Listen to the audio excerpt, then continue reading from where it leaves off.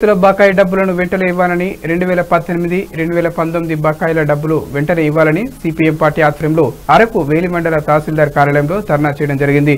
నాయకులు కె రామారావు బాల్దేవ్ దశరథ్ చిన్నబాబు రామన్న రైతులు పాల్గొన్నారు.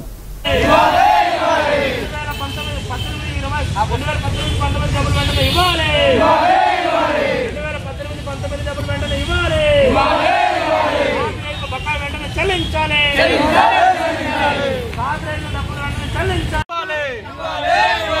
కాపీ రైతులు బకాయి డబ్బులు వెంటనే ఇవ్వాలి. కాపీ రైతులు బకాయి డబ్బులు వెంటనే ఇవ్వాలి.